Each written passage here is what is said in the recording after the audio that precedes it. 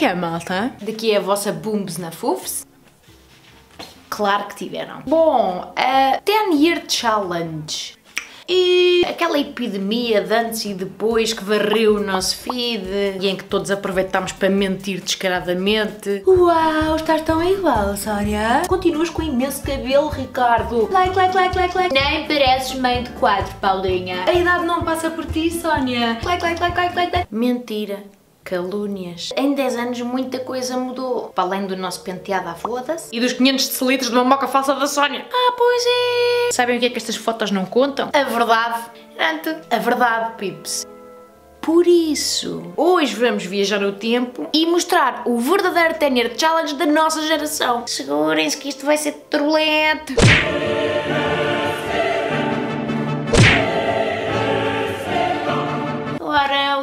Aconteceu em 10 anos? Para começar, a gravidade. Aconteceu a gravidade. Alerta CM! O nosso corpo está a desistir! Em 2009, muitas marufas do mundo ainda estavam à altura dos olhos. Mamilo hirto, a apontar o caminho certo. Agora são duas passinhas secas. A ver quem chega primeiro ao umbigo. Sai da frente, bitch! E quando finalmente chegam, dá para fazer crossfit com elas. Excelente. Em 10 anos, o mamilo quebrou. Vive triste, moribundo, a encarar a sua aproximação do chão. Cada dia mais perto. Às vezes ainda tem momentos. Oh, oh, será que sinto uma corrente de ar? Não, não me apetece. E enquanto que algumas partes do corpo se expandiam, outras batiam em retirada. Tipo o cabelo e as gengivas. Yeah, também não sabia. Que elas vão para dentro. A partir de uma certa idade já não se come Nutella e elas recolhem.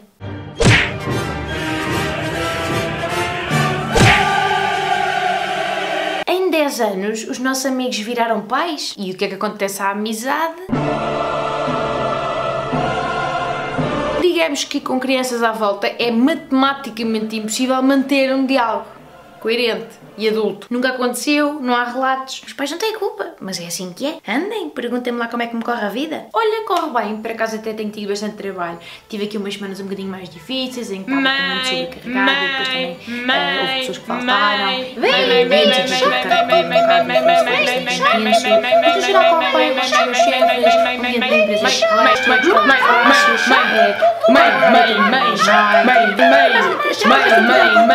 Portanto,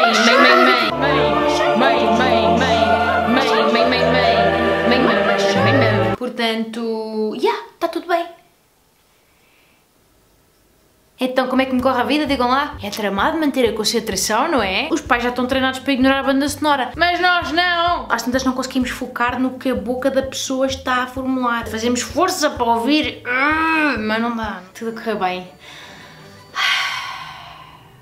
Estás a ouvir os miúdos? Carlitos? Raquel? Faleceram? O silêncio também nunca é bom. Pois é, malta, em 10 anos o tema de conversa deixou de ser a assadura do pipi. Máquina de fiesta, am I right?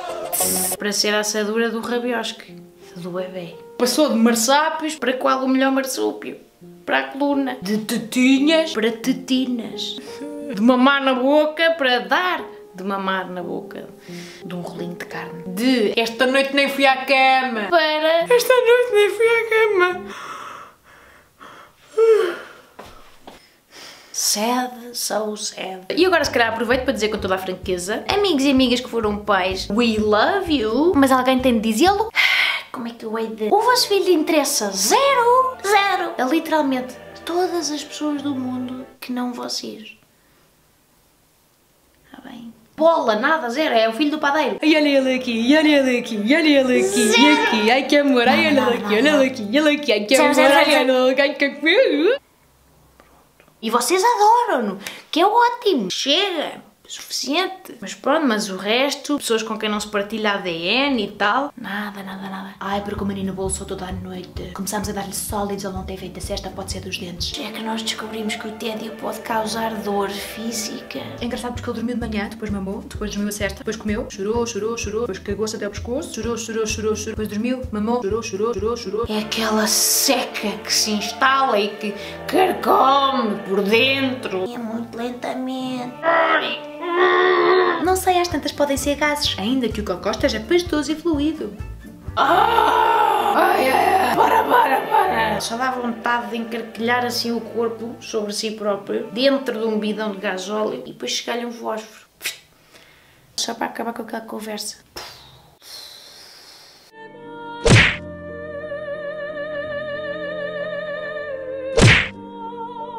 10 anos ninguém nos avisou que íamos passar de usar este boné de mandar jola para a goela para um cubículo com 78 relatórios para entregar para ontem. Sem tempo de transição. Hã? Ninguém nos avisou.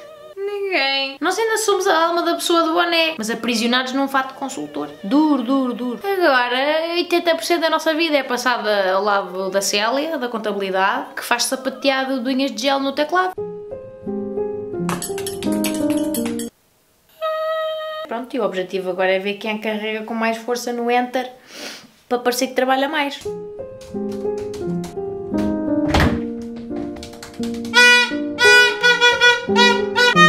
Quanto mais alto só vi no Open Space, está ali empregado o mês. É que nós passámos de ter 3 meses de férias para reuniões de 2 horas que se resolviam com um mail de uma linha. É, uma escadinha perversa. E a cada segundo que passa, a nossa única atividade cerebral no escritório é esta.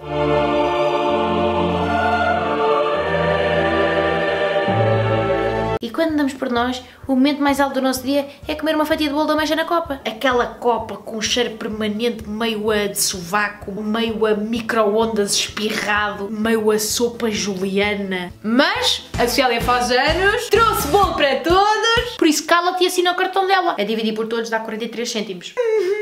Só aqui empalar o coração com uma adaga. São 10 anos em que passámos a ter um salário, come ele for, mas sabem mais o quê? Impostos que ninguém entende. Mas ainda bem que tivemos semiologia e introdução à teoria do prepúcio na universidade. Ufa, que bem preparados que estamos! E chega também o pior dos flagelos. Débitos diretos na conta. Que nós já nem conseguimos controlar. Mal pinga o salário.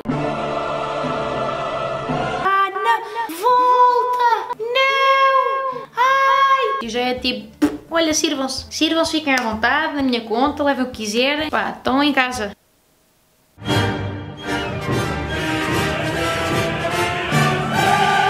Em 10 anos, muitos de nós passaram de ter um acesso ilimitado a um frigorífico cheio de coisas boas em casa dos pais para o antro de bactérias esquimós que é o nosso frigorífico, com um chutney de manga perdido lá dentro, que expirou na queda do muro de Berlim, um pirex com escorbuto, da calada. E no congelador um tupperware com uma etiqueta a dizer Znashnik Min de Natal.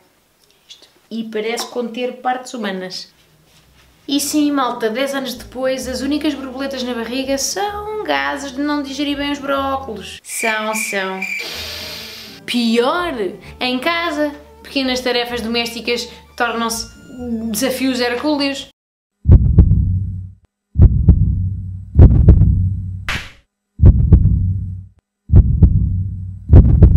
Que atira a primeira pedra quem não tem um quadro no chão por pendurar e há sete anos que diz tratamos disto no domingo, sem falta. Já passaram 370 domingos. E o quadro continua encostado à parede onde vai ficar um dia, mas no chão. Só se levanta o quadro para passar o Swiffer. A desarrumação vira bibelô, compreendem?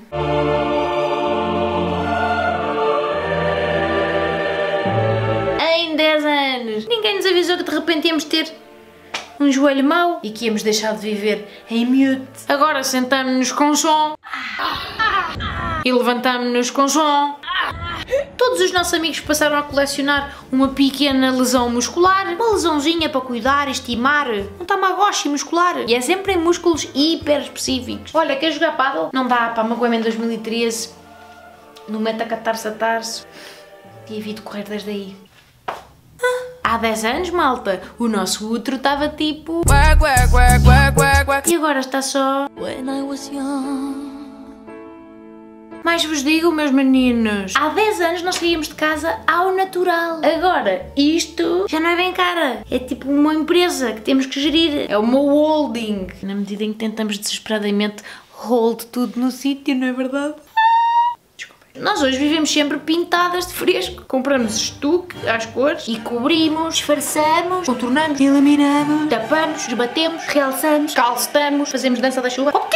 E cá, com 101 produtos só para as pés da pálpebra. Até que tudo o que fazemos da vida é gerir este quadro manhoso que nunca chega a secar, mas que ainda assim levamos à rua todos os dias. Sempre com pânico de esborrapar. Enfim, há 10 anos não tínhamos grandes preocupações, malta. Agora temos meltdowns insanos com nanoproblemas. Eu pedi para não mudar as minhas chaves de sítio. Vamos ao psicólogo, esteticista, nutricionista, ao osteopata, ao PT, ao padre da paróquia, à pessoa fofana, à maricondo. Eliminamos o açúcar, o trigo, os processados, a lactose, as gorduras saturadas, polissaturadas, insaturadas, saturadas, trans e gender fluid, os químicos, os bichos, o paladar e o prazer no geral. Corremos, alongamos, puxamos ferro, fazemos yoga clássico, yoga do riso e yoga da vulva. E todas as fucking manhãs tentamos sorrir com a mente como nos dizem na meditação. Mas o que realmente acontece é isto.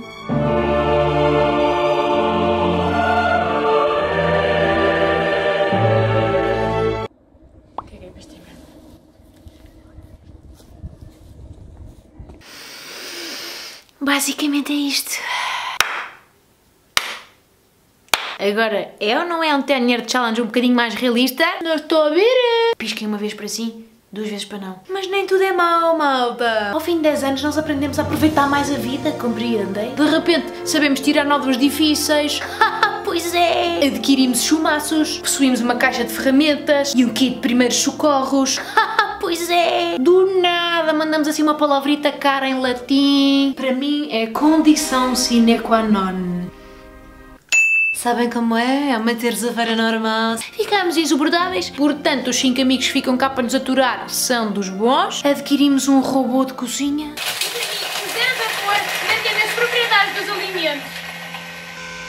E com as cascas dá para fazer estrume. Dançamos como se ninguém estivesse a ver.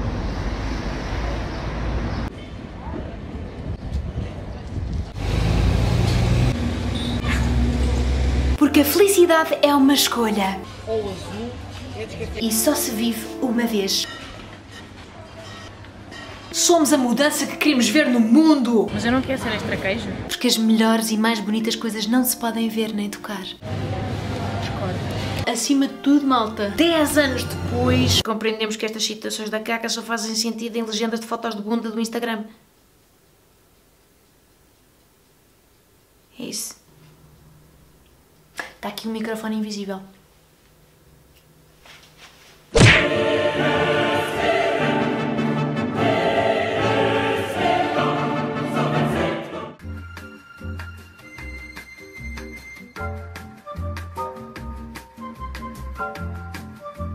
Aproveito este mood para vos dizer que também o Samsung Galaxy S10 cumpre o seu 10 Year Challenge este ano e ao contrário de nós, está a envelhecer melhor do que nunca. Não sei se parece o Jorge Clooney da tecnologia. E carrega situações se nós roçarmos com situações. What? Sinto-me no Back to the Future. Vai fazer jeito para enfrentar todos os challenges completamente imbecis que a internet decidir inventar a partir de agora. E este novo que acabei de inventar, que é só ficar em silêncio até ficar awkward.